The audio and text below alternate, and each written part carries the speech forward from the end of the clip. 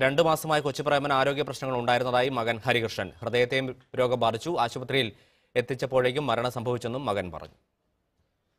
ഉച്ചയ്ക്ക് ഭക്ഷണം കഴിച്ചു കഴിഞ്ഞിട്ട് കിടക്കണം എന്ന് പറഞ്ഞു. കിടന്നു അത് കഴിഞ്ഞിട്ട് നല്ലോണം വീക്കായി. നല്ലോണം വീക്കായി. പിന്നെ പൾസ് പോവായിരുന്നു. അപ്പോൾ ഞങ്ങൾ അപ്പോൾ തന്നെ ആംബുലൻസ് വിളിച്ചു.